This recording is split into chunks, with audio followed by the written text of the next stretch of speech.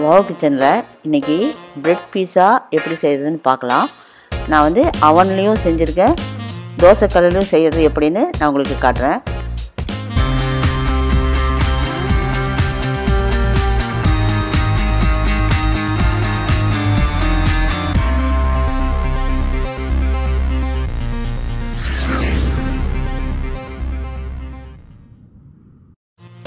இதுக்கு முதல் நம்ம பீஸா சாஸ் செய்யணும். அதுக்கு என்னென்ன தேவைங்கிறது பார்க்கலாம். ஒரு பெரிய வெங்காயம். கூட உங்களுக்கு காரம் தேவைன்னா ஒரு ரெட் சில்லி ஆட் பண்ணலாம். நான் வந்து சேர்த்தலை. அஞ்சு தக்காளி தோல் எடுத்து வச்சுருக்கேன். இப்போ ஒரு மிக்சி ஜாரில் பெரிய வெங்காயம் தோல் எடுத்த தக்காளியும் சேர்த்து நம்ம நல்லா நைஸாக அரைக்கக்கூடாது. ஓரளவு அரைச்சிடணும்.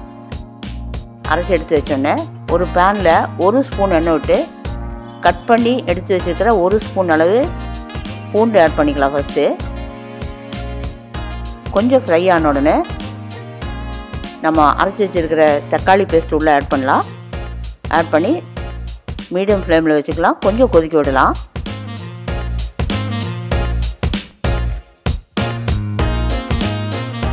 டொமேட்டோ கெச்சப் ஒரு ஸ்பூன் ஆட் பண்ணிக்கலாம்.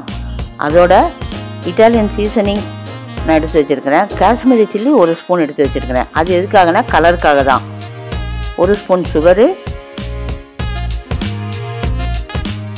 எடுத்து வச்சுருக்கேன். இப்போ வந்து தண்ணி நல்லா குறைஞ்சிச்சு இந்த டைமில் நம்ம எடுத்து வச்சுருக்கிற தக்காளி கெச்சப் ஆட் பண்ணலாம்.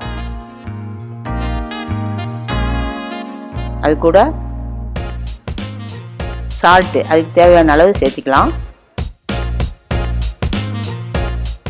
அடுத்தது காஷ்மீரி சில்லி. இது கலருக்காக தான் ஆட் பண்ணுறோம்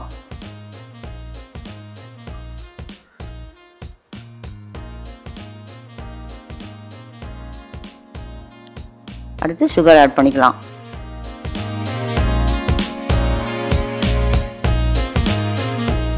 இப்போ நம்ம இட்டாலியன் சீசனிங் ஆட் பண்ணிக்கலாம். அது சேர்த்தும் போது நல்ல ஸ்மெல் நல்லாயிருக்கும் பீஸாவோட ஸ்மெல் நல்லா வரும். அதுக்காக தான் சேர்த்துறது. இது எல்லா டிபார்ட்மெண்ட் ஸ்டோர்லையுமே கிடைக்குது. இப்போது பீஸா சாஸ் ரெடி ரெடி இப்போ பீஸா எப்படி செய்கிறதுன்னு பார்க்கலாம். அதுக்கு நான் ரெண்டு பெரிய வெங்காயம் கட் பண்ணி வச்சுருக்கேன் தக்காளி ரெண்டு கட் பண்ணி வச்சுருக்கேன். பொடியாக கட் பண்ணி வச்சுருக்கிறேன். தக்காளியில் இடையில இருக்கிற சீடு எடுத்துடணும். அப்புறம் ரெண்டு கேப்சிகம் பொடியாக கட் பண்ணி வச்சுருக்கேன்.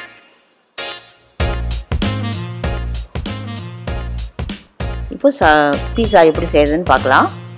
நான் வந்து சாண்ட்விச் ப்ரெட் எடுத்திருக்கேன். சீஸு ஒரு பவுல் எடுத்து வச்சுருக்கேன் நான். இப்போது அவனில் எப்படி செய்யுதுன்னு நான் காட்டுறேன். பேனில் லைட்டாக பட்டர் ஆட் பண்ணிக்கலாம். ப்ரெட் அதில் வச்சு ஃபஸ்ட்டு சாஸ் எடுத்து அதில் அப்ளை பண்ணிக்கலாம். ஒரு ரெண்டு ஸ்பூன் அளவுக்கு பிடிக்கும். சாஸ் போட்டோன்னே நம்ம எடுத்து வச்சுக்கிற சீஸ் போடலாம். சீஸ் போட்டு அடுத்ததாக கட் பண்ணி வச்சுருக்கிற கேப்சிகம் ரெண்டு ஸ்பூன் அளவுக்கு. ஆனியன் ஒரு ஸ்பூன் அளவுக்கு போட்டுக்கலாம். டொமேட்டோவை ஒரு ஸ்பூன் அளவு சேர்த்துக்கலாம். மேலே நம்மளுக்கு தேவையான அளவு சீஸ் ஆட் பண்ணிக்கலாம்.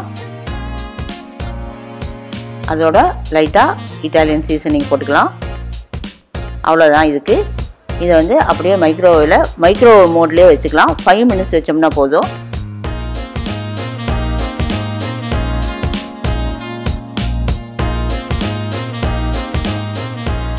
இப்போது ப்ரெட் பீஸா அவனில் செஞ்சு ரெடி ஆயிடுச்சு.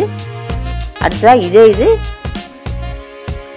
தோசைக்கல் எப்படி செய்யுதுன்னு நான் உங்களுக்கு காட்டிடுறேன். தோசைக்கல்லை வந்து நல்லா சூடு பண்ணிவிட்டு கொஞ்சம் பட்டர் அதில் ஆட் பண்ணி லைட்டாக டோஸ்ட் பண்ணிக்கலாம் ப்ரெட்டை இந்தளவு டோஸ்ட் ஆனால் போதும். இப்போது நல்லா சிம் பண்ணி விட்டுட்டு பீஸா சாஸ் மேலே ஆட் பண்ணி சீஸ் ஆட் பண்ணிக்கலாம். நம்ம கட் பண்ணி வச்சுருக்கிற கேப்சிகம் ஆனியன் டொமேட்டோ. அடுத்தது நம்ம சீஸ் மேலே போட்டுக்கலாம். அது எவ்வளோ தேவையோ அவ்வளோ போட்டுக்கோங்க. இட்டாலியன் சீசனிங்க மேலே போட்டு மூடி வச்சிடலாம்.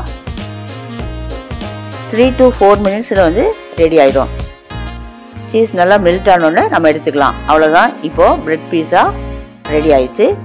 நீங்களும் ட்ரை பண்ணி பாருங்கள்